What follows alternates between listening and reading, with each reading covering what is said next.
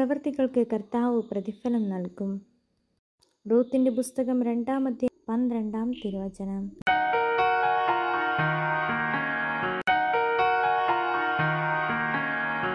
സ്വർഗസ്ഥനായ ഞങ്ങളുടെ പിതാവേ അങ്ങയുടെ നാമം പൂജിതമാകണമേ. അങ്ങയുടെ രാജ്യം വരണമേ. അങ്ങയുടെ തിരുമനസ് സ്വർഗത്തിലെ പോലെ ഭൂമിയിലുമാകണമേ.